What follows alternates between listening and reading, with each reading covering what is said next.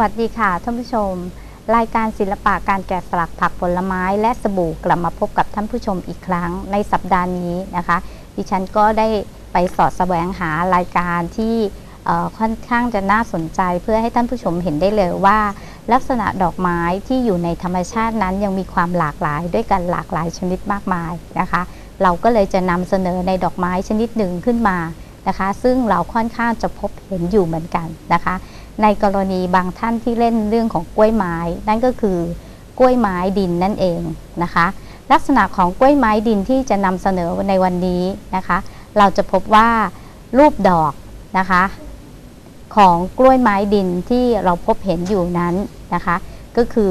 มีกลีบดอกและกลีบเลี้ยง อยู่ในระนาบเดียวกันนะคะ มีด้วยกันทั้งหมด 5 กลีบนั่นเอง ส่วนปลายกลีบ นะคะ ก็คือส่วนที่เป็นปากนั่นเอง ลักษณะของช่วงกลางของก่อนปลายกลีบนั้น จะมีลักษณะของออความเรียวคอดนะคะ เข้าหากันส่วนปลายกลีบจะบานออกแล้วมีลักษณะหยักโค้งนะคะ ซึ่งเราจะเห็นได้เลยว่าลักษณะของกล้วยไม้ดินที่เห็นนั้นจะมีลักษณะของความเป็นธรรมชาติของดอกไม้ที่สวยงาม ในหนึ่งช่อดอกก็จะมีจำนวนดอกนะคะ 5 6 ดอกหรือมากกว่านั้นก็แล้วแต่นะคะ ลักษณะรูปใบของดอกนะคะ จะพบได้เลยว่ารูปรูปใบนั้นจะมีลักษณะปลายเรียว คล้ายๆ ใบหมากนะคะ อันนี้คือออลักษณะโดยคร่าวๆของดอกกล้วยไม้ดินนะคะ เราจึงนำส่วนของแนวคิดของการทำดอกไม้ชนิดนี้มาใช้ในงานแกะสลัก โดย นำส่วนของงานแกะสลักโดยเลือกวัสดุนั่นเองนะคะ จากการใช้มะละกอทำไมเราถึงเลือกมะละกอเป็นวัสดุหลักในการทำงานชิ้นนี้ ด้วยเหตุผลนั่นก็คือว่าลักษณะของการเกาะตัวของรูปดอกนั้นนะคะ จะมีลักษณะน้อยอะค่ะของการเกาะตัวนะคะ ไม่ได้ทั้งดอกใหญ่ ๆนะคะ การเกาะตัวก็จะง่ายขึ้น แต่ตอนนี้มันมีแค่ส่วนกลางเล็กน้อยเอง เราจึงเลือกวัสดุที่มีลักษณะเหนียวแล้วติดกันได้ง่ายนะคะ มาเป็นวัสดุหลักในงานแกะสลักนะคะ ในวันนี้เราจึงได้นำเสนอของดอกกล้วยไม้ดิน ซึ่งเราจะพบได้ว่าดอกกล้วยไม้ดินนั้นจะมีหลากหลายสีด้วยกันนะคะ อย่างเช่น สีเหลือง สีขาว สีชมพู และสีผสมชมพูอ่อนและชมพูแก่นะคะ ซึ่งจะเห็นได้เลยว่าจะมีความหลากหลายมากมายที่จะท่านผู้ชมจะหาดูได้นะคะ อย่างในถ้าจะมองภาพนะคะ อาจจะเห็นจากธรรมชาติจริง ๆ หรืออาจจะดูภาพจากอินเทอร์เน็ตก็ได้ว่า ดอกกล้วยเมียดอกกล้วยไม้ดินที่กล่าวมานั้น จะมีลักษณะหน้าตาเป็นอย่างไรนะคะ เรามาเริ่มกันเลยนะคะ ในงานแกะสลักสำหรับวันนี้เพื่อให้ได้ดอกไม้ดินที่สวยงามออกมา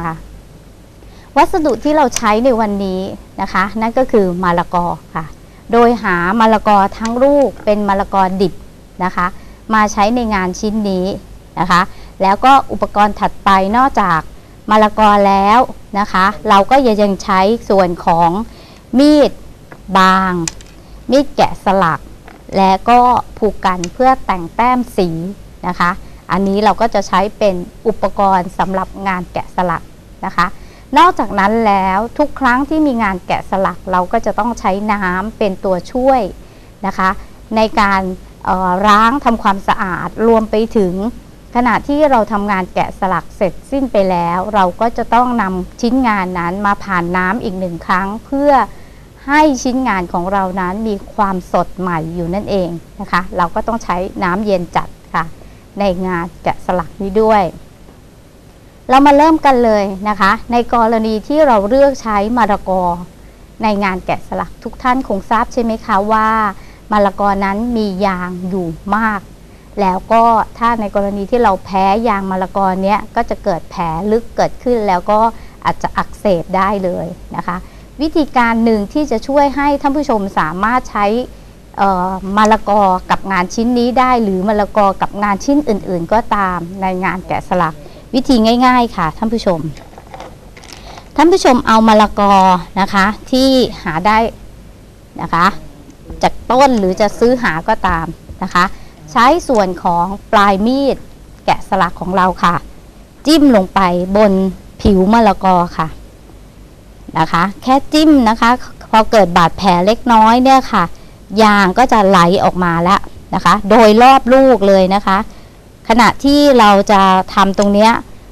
ต้องระวังมือของเราเหมือนกันนะคะ ที่จับลูกมะละกออยู่เห็นไหมคะ เราจะเห็นได้เลยว่า ทุกจุดที่เราเอาปลายมีดจิ้มลงไปเท่านั้นเอง ยางมะละกอก็จะไหลออกมาแล้วนะคะ เราทำอย่างนี้โดยรอบทั้งลูกแล้วก็ทีๆแต่ความลึกของปลายมีดที่จิ้มลงไปนั้นเพียงเล็กน้อยนะคะ ไม่งั้นพื้นผิวของเขาข้างบนนะคะ ไหนหมายถึงว่า ชิ้นเนื้อด้านในก็จะเกิดรอยแผลเกิดขึ้น อันนี้เราแค่บนพื้นผิวเท่านั้นเองเห็นไหมคะ จิ้มลงไป แล้วก็ให้ยางมะละกอนั้นไหลออกมาจนกระทั่งมากที่สุดแล้วก็พักเอาไว้จนกระทั่งส่วนของยางมะละกอเนี่ยแห้งหรือหมาดหมาดก็ได้นะคะนำไปล้างน้ำอีกหนึ่งครั้ง เวลาเราเอามาทำงานชิ้นนี้ ยางมะละกอก็หมดไปแล้วส่วนหนึ่ง นะคะ เราก็จะไม่เกิดปัญหาตามมาว่ายางมะละกอกัดมือเรานะคะ อันนี้ก็จะเป็นวิธีการหนึ่งในการไล่ส่วนของยางมะละกอออกไปนั่นเองค่ะนะคะพอเราเสร็จแล้วในกระบวนการที่หนึ่งนะคะ ที่จะนำในส่วนของยางออกไปละนะคะ เราก็ล้างทำความสะอาดแล้วก็พักให้แห้งนิดหนึ่งหรือจะใช้กระดาษทิชชูผ้า ซับส่วนของมะละกอนะคะ พื้นผิวให้แห้งซะก่อน พอเสร็จนะคะท่านผู้ชมก็จะได้มะละกอที่แห้งนะคะ เรียบร้อยอย่างเดียวออกมา เราก็ตัดเป็นส่วนๆค่ะ โดยมองภาพขนาดของความกว้างนะคะ ของเขาเนี่ยก็คือประมาณ 3 นิ้วครึ่งนะคะ1 2 2 นิ้วครึ่งนะคะ ถ้าดอกเล็กๆ ก็คือประมาณ 2 นิ้วครึ่ง ตัดค่ะ เป็นท่อนนะคะ คราวนี้ดูพื้นที่โดยรวมของหนึ่งท่อนของมะละกอชิ้นนี้นะคะ ว่าถ้าสมมติเราแบ่งสองปุ๊บเนี่ยพื้นที่ก็จะเหลือมากเกินไป ถ้าเราแบ่งสามรูปดอกจะเป็นอย่างไรนะคะ เราก็ต้องมองภาพแล้วนะคะ ตัดตรงนี้นะคะหนึ่งแล้วก็สอง ดอกก็จะเล็กไปนิดหนึ่งนะคะ อันนี้เรามองภาพดอกใหญ่ไว้ก่อน ขอตัดครึ่งเลยนะคะ วิธีการหลักการแบบง่ายๆ นั่นก็คือท่านผู้ชมจะต้องมองพื้นที่ของเนื้อที่เหลือทั้งหมดนะคะ ขึ้นอยู่กับความใหญ่ของส่วนที่เป็นท่อนมะละกอแต่ละท่อนออกมาว่ากว้างแค่ไหน แล้วเราก็แบ่งสัดส่วน อย่างเช่นท่อนนี้นะคะ ที่เราตัดเอาไว้มาจากลูกมะละกอเป็น 3 ส่วนค่ะนะคะ อันนี้เราแบ่งเป็น 3 ส่วนนะคะ มองขนาดของชิ้นเป็นหลักแล้วกันค่ะท่านผู้ชมว่าชิ้นของเราที่ได้ จะทำให้รูปดอกนั้นใหญ่เล็กแค่ไหนนะคะ อันนี้มองความเป็นหลักแค่นั้นเองนะคะ ในการแบ่งขนาดค่ะ หลังหลังจากที่เราได้ชิ้นมะละกอแล้วนะคะ เป็นชิ้นใหญ่ออกมา เราวางในลักษณะของมุมสามเหลี่ยมค่ะ แล้วก็เริ่มจากกึ่งกลางดอกก่อนนะคะ ซึ่งท่านผู้ชมอาจจะเห็นภาพแล้วว่า ในส่วนของรูปดอกนั้นอย่างที่อธิบายให้ท่านผู้ชมทราบค่ะว่ามีส่วนของ ปาก ซึ่งกึ่งกลางปากจะมีลักษณะเรียว นะคะ แล้วก็ไปหาส่วนของปลายปาก ซึ่งมีลักษณะบานออกนะคะ ขณะนี้เราจะเริ่มจากจุดของส่วนกลางของปากกล้วยไม้ก่อนนะคะ โดยเจาะลงไปค่ะนะคะ แล้วก็วาดเป็นรูปหยดน้ำขึ้นมาก่อนนะคะอันนี้เราจะเปิดพื้นที่ให้เห็นเลยว่า แล้วก็ลึกลงนะคะ เป็นลักษณะหยดน้ำลึกลง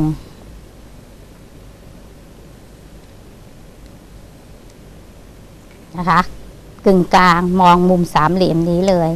หลังจากนั้นแล้วนะคะ ส่วนปลายค่ะ ของปากกล้วยไม้จะมีลักษณะของความเป็นคลื่น เราก็ใช้ส่วนของมีดเนี่ยค่ะ เว้านะคะ โดยการช้อนให้มีลักษณะของความเป็นคลื่นเกิดขึ้น เป็นร่องคลื่นนะคะเห็นไหมคะท่านผู้ชมท่านผู้ชมจะเห็นเลยว่ามันมีลักษณะของความเป็นร่องคลื่นเกิดขึ้น ส่วนตรงกลางปากก็จะลึกลงนะคะ หลังจากนั้นแล้วนะคะ เปิดด้านหน้าของส่วนกลางปากกล้วยไม้ให้กว้างนิดหนึ่งเราจะได้เห็นในความลึกที่ได้ทำลงไปนะคะ แต่ด้านบนเท่านั้นนะคะ วาดส่วนของด้านกลางที่เว้านะคะ แล้วก็ลากเส้นด้วยมีดออกมาค่ะ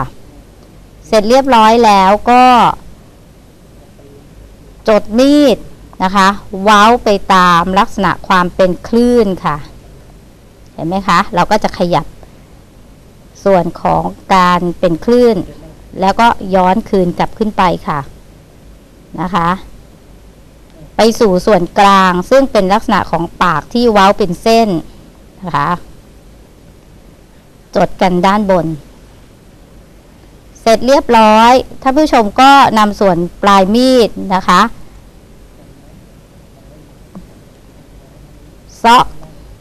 กลีบนะคะ ก็คือตัดเนื้อส่วนที่ไม่ต้องการออกเพื่อให้ส่วนของ ปากกลีบกล้วยไม้ชัดเจนขึ้นมานะคะ โดยวางมีดในลักษณะเอียงมีดเข้าหาจุดเส้นที่เราวาดไว้ค่ะนะคะ ค่อยๆซ้อออกค่ะ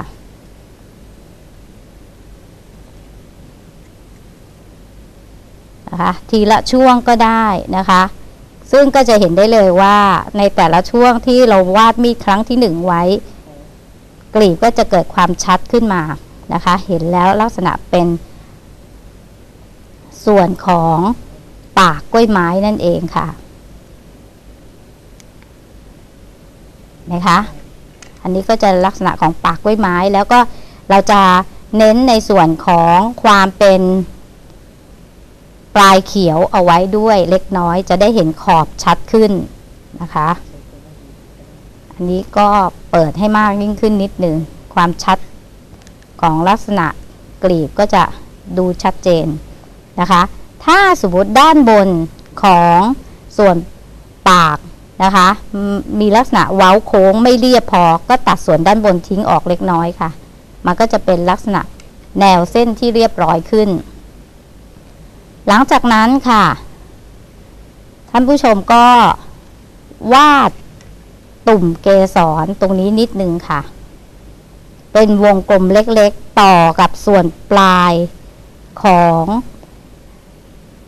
ออปากกล้วยไม้นะคะ ที่เป็นรอยส่วนกลางอะค่ะ ที่เว้าโค้งนั้นนะคะ ก็จะมีตุ่มปลายอยู่เล็กน้อย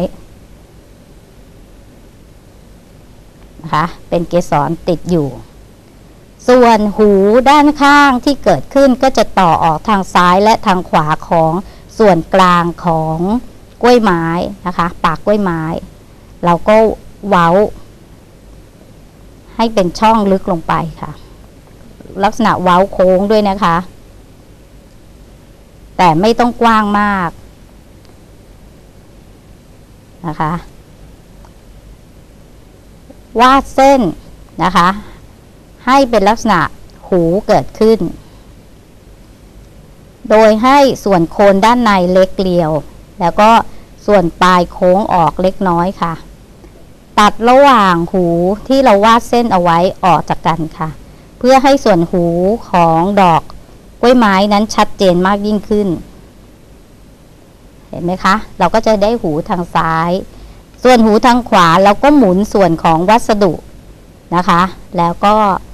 ทำเป็นแอ่งเว้าลึกเช่นกัน เป็นลักษณะแนวโค้งยาวค่ะ แต่ไม่กว้างนะคะ แคบๆค่ะนะคะ ให้ส่วนโคนนั้นลึกลงนะคะ ส่วนปากที่เปิดขึ้นในขณะที่เรากำลังวาดอยู่นี้นะคะ ให้ออยู่ด้านบนนะคะ อย่าให้เรียบเสมอในระนาบเดียวกันนะคะ เพราะเราต้องการให้ส่วนของหูเนี้ยเพเยออยู่ด้านบน วาดส่วนหูนะคะ โดยให้โคนเล็กแล้วก็ส่วนปลายกว้าง เล็กน้อยค่ะ ตัดเนื้อด้านข้างออก เพื่อให้หูที่เกิดขึ้นนั้นชัดเจนยิ่งขึ้นค่ะ เห็นไหมคะ เราก็จะได้ส่วนของปากกล้วยไม้ เกสร แล้วก็หูสองข้างของกล้วยไม้นะคะ หลังจากนั้นแล้ว เราก็มาส่วนที่ จดมีดนะคะ ที่ส่วนเกสรด้านบนค่ะ ตัดเนื้อ ด้านบนออกนะคะ ให้เป็นรูปลักษณะเว้าโค้ง แล้วก็ค่อยๆขยายพื้นที่กว้างออกไปค่ะ ซึ่งเราจะทำส่วนของกลีบเลี้ยงนั่นเอง ลักษณะกลีบเลี้ยงและกลีบดอกของกล้วยไม้นะคะ อันนี้เราจะทำกลีบเลี้ยงก่อน จะมีลักษณะเหมือนเหมือนกันนะคะ ไม่ได้แตกต่างกันเท่าไหร่ ก็คือมีลักษณะ ตรงกลางอ้วนตรงปลายเรียวเล็กน้อยค่ะนะคะ หลังจากที่เราขยายด้านกว้างได้เออด้านความยาวได้แล้ว คราวนี้เราก็จะมาขยายด้านกว้างนะคะ ของกึ่งกลางของดอกนะคะซึ่งมันจะได้เหมือนกับธรรมชาติจริง ๆ เห็นไหมคะ จากโครงเนี่ยเราก็จะเห็นเลยว่า เราจะได้ลักษณะของรูปกลีบเลี้ยงแล้ว นะคะ จดมีดที่ปลายเกสรค่ะ วาดออกมาให้โค้งนะคะ แล้วก็ค่อยๆสอบเข้าแล้วก็โค้งกลับมานะคะ ตัดเนื้อหลังจากที่เราวาดเส้นกลีบดอกแล้ว เพื่อให้ส่วนของกลีบกลีบนั้นเกิดความชัดขึ้นมานะคะ ทางด้านหนึ่งด้านซ้ายแล้วก็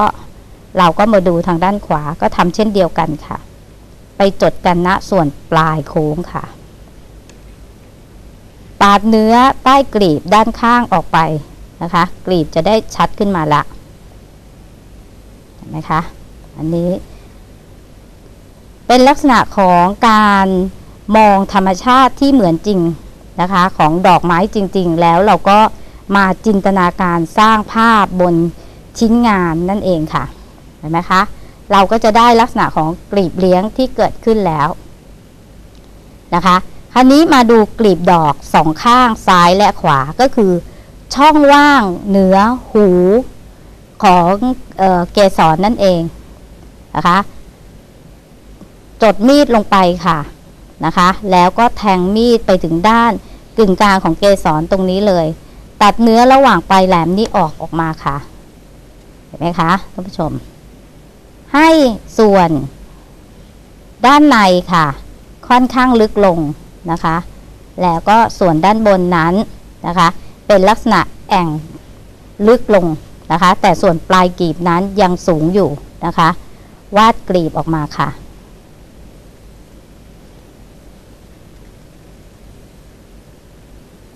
นะคะตัดเนื้อด้านข้างของกลีบ เพื่อให้ส่วนของกลีบที่เราวาดไว้นั้น เห็นชัดเจนขึ้นมาค่ะนะคะ บางครั้งเนื้อส่วนนี้อาจจะเกินออกไปเล็กน้อยก็ไม่เป็นไรนะคะ เดี๋ยวเราสามารถแก้ไขได้โดยการปรับให้ส่วนของกลีบนั้นโค้งลงนะคะส่วนทางขวามือนะคะ ก็โค้งชนเข้าหากันค่ะ ตัดเนื้อใต้กลีบออกค่ะ นะคะ ตรงนี้ทำไมถึงเลือกมะละกอก็ด้วยเหตุผลนี้แหละค่ะว่าส่วนกลางเนี่ยจะเป็นตัวยึดเข้าหากัน พอถ้าเป็นวัสดุที่เปราะง่าย ตรงนี้เราก็จะทำให้ชิ้นงานของเราเสียหายได้ละเห็นไหมคะ เราก็วาดเป็นรูปกีบเกิดขึ้นนะคะทั้งซ้ายและขวานะคะทำลักษณะเดียวกันคือ จดปลายมีดลงตรงกึ่งกลางของเนื้อเกสรนะคะ ตัดเป็นลักษณะแอ่งขึ้นมา แล้วแอ่งนี้ของเราก็จะเป็นลักษณะแอ่งรูปยาวนะคะ โดยด้านในของแอ่งลึกนี้จะต้องลึกกว่าด้านบนค่ะนะคะก็วาดรูปกลีบออกมานะคะช้อนตัดเนื้อใต้กลีบ ทางด้านซ้ายให้เสร็จ แล้วก็มามองทางด้านขวาค่ะนะคะตัดเนื้อใต้กลีบเพื่อให้กลีบนั้นชัดขึ้นมาค่ะนะคะ เราจะได้กลีบดอกสองข้างแล้วนะคะ ถ้าส่วนไหนที่เรามีความรู้สึกว่ายังไม่สวยนะคะท่านผู้ชมก็สามารถตัดแต่งรูปกลีบให้โค้งได้ ตามที่เราเห็นสมควรค่ะ หรือกลีบช่วงไหนยาวเกินไปนะคะ ก็แต่งเพิ่มได้ค่ะนะคะ อันนี้ตามความเหมาะสมเลย เพราะว่าบางช่วงของพื้นที่ที่เรามีอยู่อาจจะไม่พอดีกันนะคะพอเสร็จเรียบร้อยแล้วนะคะ ได้กลีบเลี้ยงกลีบดอกแล้วก็กลีบเลี้ยงด้านข้าง ซึ่งกลีบเลี้ยงด้านล่างนั้น นะคะ จะอยู่ใต้หูของเกสรนั่นเอง ก็จดมีดลงไปด้านในเลยนะคะ ช้อนลงไปข้างล่างค่ะนะคะ ใต้หูนะคะ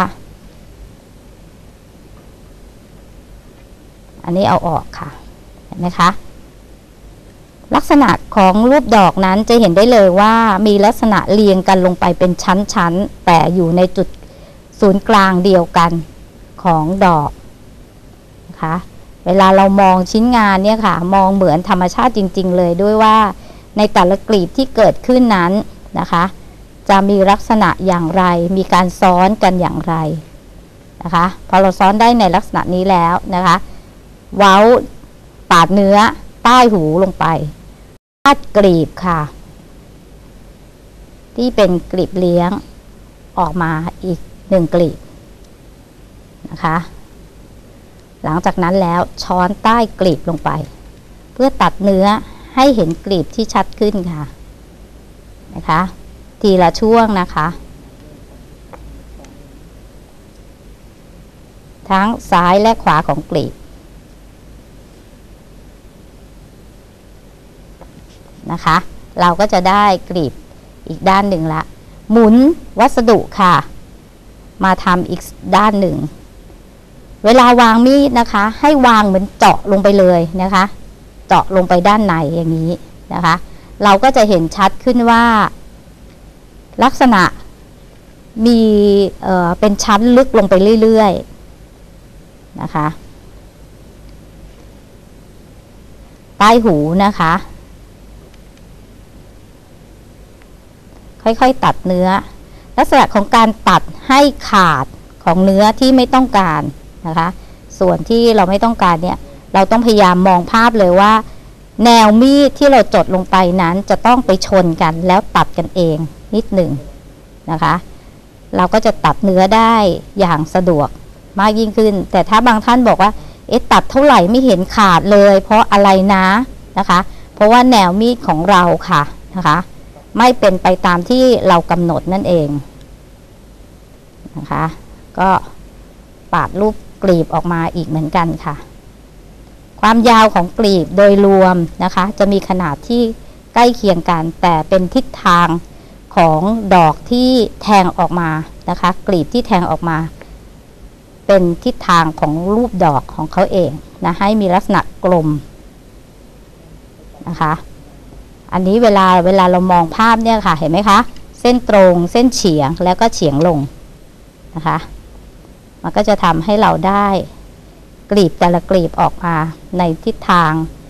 ของลักษณะดอก แล้วก็ทำให้รูปดอกนั้นดูกลมด้วย เราก็จะได้ออกมาแล้วเห็นไหมคะ มีลักษณะอย่างนี้นะคะ คราวนี้เราจะทำอย่างไรต่อเพื่อให้ดอกนั้นเกิดความชัดออกมาค่ะ ท่านผู้ชมก็ค่อยๆเลาะค่ะนะคะ ตัดเนื้อโดยรวมด้านข้างทั้งหมดก่อนก็ได้ นะคะ ค่อยๆตัดรูปกลมทั้งหมดออกไปก่อนนะคะ ด้านบนก่อน เก็บด้านบนก่อน ซึ่งด้านบนเนี้ยยังเป็นกลีบใหญ่ ๆนะคะ ตัดเนื้อใต้กลีบลงไปในแนวเฉียงค่ะนะคะถึงข้างล่างเลย แล้วก็แนวมีดให้ไปชนกันทุกครั้ง มันก็จะทำให้การตัดนั้นได้ง่ายยิ่งขึ้น ใต้กลีบถ้าสมมติว่าไม่สวยนะคะ แนวไม่ดีท่านผู้ชมก็ค่อยๆเเจียนไปตามรูปทรงของแนวด้านบนให้เหมือนนะคะ แล้วก็สอบกว่าก็คือเลียวลงนะคะ อย่างงับนะคะเนี่ยค่ะ ค่อยๆเจียนออกนะคะ ได้กลีบแล้ว ถ้ายังดูหนาก็เอาออกอีกนะคะ กลีบด้านข้างค่ะเวลาตัดเนื้อตรงนี้นะคะ ที่ไม่ส่วนที่เราไม่ต้องการเนี้ยค่ะ ให้ท่านผู้ชมต้องระมัดระวังนิดนึงค่ะ ก็คือ แนวของการวางมีดบางครั้งเรามองไม่เห็นนะคะมันก็อาจจะทำให้เกิดอุบัติเหตุมีดบาดมือได้ ก็ต้องระมัดระวังนิดนึงค่ะนะคะจับให้ถนัดมือเลยนะคะ ค่อยๆเลาะทีละส่วนค่ะ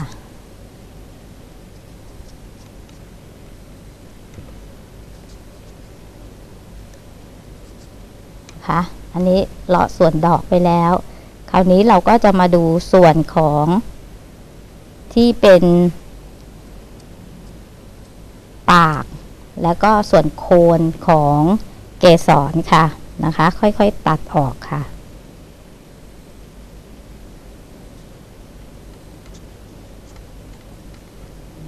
นะคะเห็นไหมคะ ตรงนี้ค่ะเป็นเรื่องของความยุ่งยากทีเดียว เพราะว่าเราทำชิ้นงานเสร็จแล้ว คราวนี้จะทำอย่างไรให้กลีบของเราแต่ละกลีบที่ทำเสร็จนั้นเรียบร้อยนะคะ ไม่เกิดปัญหาเกิดขึ้นหรือหักระหว่างทางนะคะ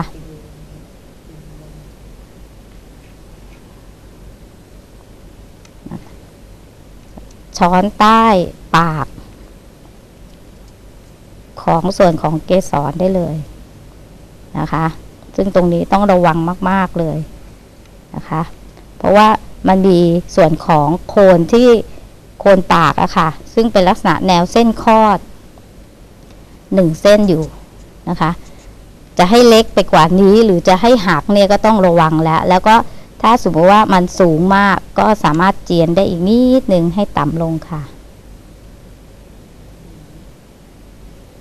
นะคะ ยากจริงๆค่ะตรงนี้นะคะ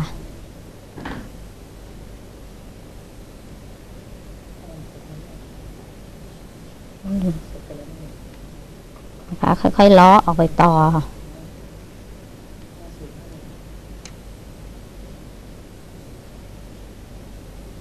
นะคะ จับต้องระวัง มีดต้องค่อยๆขยับนะคะ อย่าอย่าพวดพลาด เดี๋ยวอาจจะทำให้ส่วนของดอกนั้นหักก็ได้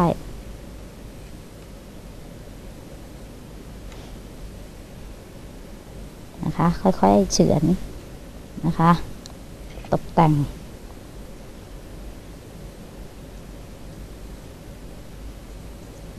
ค่ะคราวนี้ก็คว่ำรูปดอกลงได้ค่ะ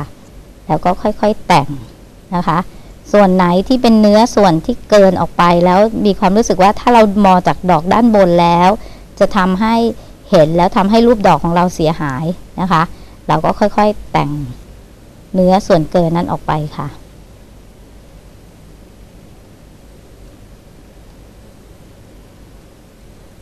นะคะ ยากตรงนี้แหละค่ะ การเจียนการทำอะไรตรงนี้นะคะเนี่ยค่ะ ขออีกนิดนึง ขอเจียนเล็กลงไปอีกนิดนึงค่ะ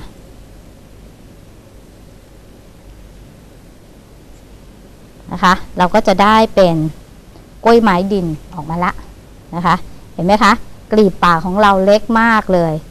เราก็ต้องระมัดระวังละ เห็นไหมคะ อันนี้ลักษณะก็คือ ส่วนกลางที่คอดเล็ก ส่วนปลายที่บานออก แล้วก็มีเกสรนะคะ ด้านบนส่วนปลาย หูสองข้างนะคะ ซึ่งบางพันธุ์ก็จะมีบางพันธุ์ก็จะไม่มีนะคะ และมีกลีบเลี้ยง กลีบดอก กลีบเลี้ยงนะคะ กลีบดอก กลีบเลี้ยงนะคะ แล้วก็มาดูต่อว่าในกลีบเลี้ยงกลีบดอกของเรานั้นมีขนาดใกล้เคียงกันไหมนะคะ ในงานแกะสลัก ถ้าเราดูแล้ว มีความรู้สึกว่าต่างเกิดขึ้นในช่วงกลีบไหน เราก็สามารถเจียนรูปกลีบได้ค่ะนะคะ ให้สั้นให้เล็กนี่ขึ้นอยู่กับเราแล้วค่ะ ผู้แกะนะคะ เพราะว่าบางครั้งขณะที่เราแกะอยู่เนี่ยความชัดตรงนั้นเราอาจจะเห็นไม่ชัดเจนเท่าที่ควรนะคะ เราก็มาตกแต่งอีกเล็กน้อย มันก็จะเป็นลักษณะของดอกกล้วยไม้ดิน นะคะนำส่วนของดอกกล้วยไม้ดินของเราเนี่ยค่ะ ไปแช่ลงในน้ำเย็นนะคะหนึ่งจะทำให้ส่วนของมะละกอที่เราแกะอยู่ขณะที่เราแกะอยู่ใช่ไหมคะ เราต้องใช้เวลา พอเป็นเวลาตรงนั้นมันก็จะมีโอกาสเหี่ยวนุ่มลงไปนะคะ พอผ่านน้ำสักครู่เดียวค่ะ แล้วก็เก็บขึ้นมา เราจะเห็นถึงความแตกต่างก็คือความสดของลักษณะดอกทันทีนะคะ ซึ่งตรงนี้ก็จะเห็นชัดยิ่งขึ้นนะคะ หลังจากที่เรานำส่วนของดอกกล้วยไม้ดินไปจุ่มน้ำเสร็จเรียบร้อยแล้วนะคะ เราก็นำส่วนของดอกขึ้นมา แล้วก็ซับด้วยกระดาษทิชชูก็ได้ หรือจะเป็นส่วนของผ้าก็ได้ค่ะนะคะซับน้ำนิดหนึ่งนะคะ หรือจะวางพักไว้จนกระทั่งน้ำที่ เเราไปแช่ไว้เมื่อสักครู่นี้แห้งนะคะ เพราะว่าส่วนนี้หลังจากที่หมาดหมาดปุ๊บ เราก็จะนำมาระบายสีส่วนปากค่ะ ซึ่งบางพันธุ์จะเห็นได้เลยค่ะว่าส่วนของปากกล้วยไม้จะมีโทนสีเหลืองค่ะนะคะ ก็นำส่วนของสีผสมอาหาร เติมน้ำเล็กน้อยค่ะ ใช้ผูกกันค่ะ ตกแต่งในส่วนของปากกล้วยไม้ นะคะ ด้านข้างและกึ่งกลางค่ะนะคะ ส่วนปลายนั้นที่เป็นส่วนปากที่บานออกนะคะ ท่านผู้ชมก็จะเติมได้แต่จางกว่าส่วนของส่วนกลางที่เป็นลักษณะคอดนะคะ เป็นเส้นออกมานะคะ แล้วก็ส่วนที่เน้นเพิ่มขึ้นก็คือใกล้กับตุ่มเกสรนะคะ ตรงนี้เราก็ เน้นให้เข้มขึ้นนิดหนึ่งได้